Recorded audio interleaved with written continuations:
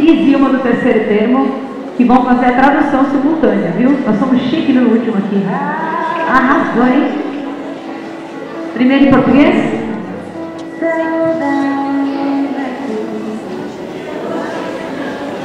Já não se encantarão os meus olhos com teus olhos, já não se adoçará junto a ti a minha dor.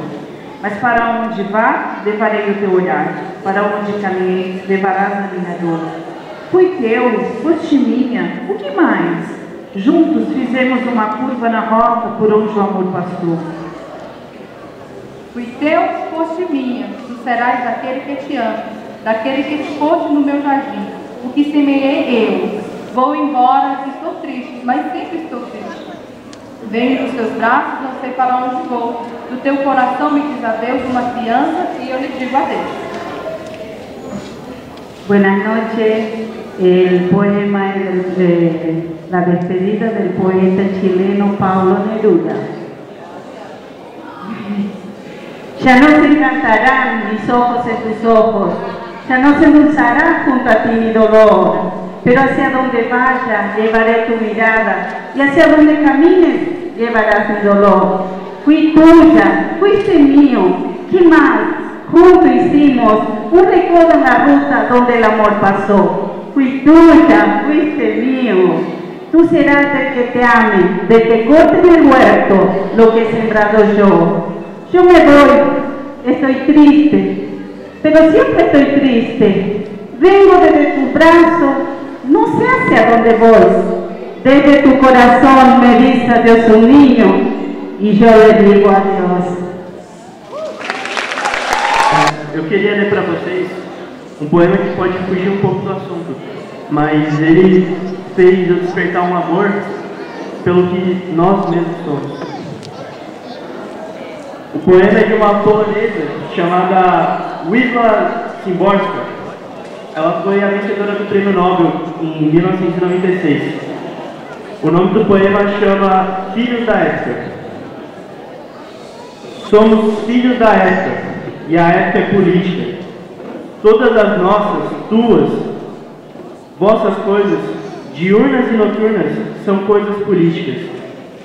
Querendo ou não, teus genes têm um passado político, tua pele, uma matriz política, teus olhos, um, um aspecto político. O que você diz tem ressonância, e o, que se inicia tem um eco, de um jeito ou de outro, político. Até caminhando e cantando a canção, você dá passos políticos sobre um solo político.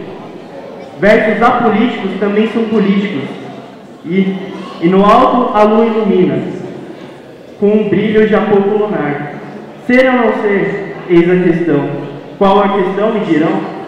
Uma questão política. Não precisa nem mesmo ser gente para ter um significado político. Basta ser petróleo bruto ração concentrada ou material reciclável. Enquanto isso, em uma mesa, em uma mesa se discutia o mesmo desafio. Deve-se habitar sobre a vida e a morte numa mesa redonda ou quadrada. Enquanto isso, matavam-se os homens, morriam os animais, ardiam as casas, ficavam ermos os campos, como em épocas passadas e menos políticas. É, o título é Pequeno Infinito. Hoje o dia não foi nem um pouco produtivo. Acho que a última está voltando. Provavelmente deveria estar embaixo das cobertas, esperando ansiosamente mais uma mensagem sua. Mas não, eu estou aqui, sentada nessa varanda de piso marrom, com cheiro de terra molhada e grama no ar. Eu sei que não deveria escrever muito, afinal. O nosso laço está rompendo a cada troca de olhar, não correspondida. Eu sei que fui cruel, me perdoe. Eu só tenho que aprender a lidar com esse lado meu. Eu sinto sua falta, acho que já sabe disso. Mas dessa vez é diferente. É como se eu quisesse sair correndo em direção a você e lhe dissesse fica. Só que para minha consciência é indiferente. Seria só mais um daqueles momentos em que eu te via na escada e você me pediu um abraço. Eu realmente espero que seja o medo comandando meus atos. Eu suplico para que seja a escolha certa nesse momento. Não acho que eu vou me conformar um dia eu ter que assistir lentamente você se apaixonando por outra. Eu sei que parece egoísta, entretanto, é só a vontade de viver que você me causa. me falando que não há nada a fazer. Essa foi mais uma tarde de domingo, sentada na varanda em que eu me perdi, em que eu me perdi em pensamento.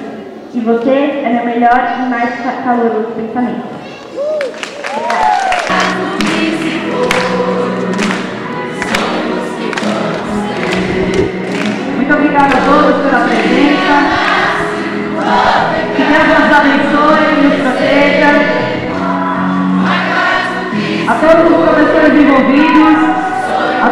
Equipe pedagógica, a direção da escola, muito obrigada.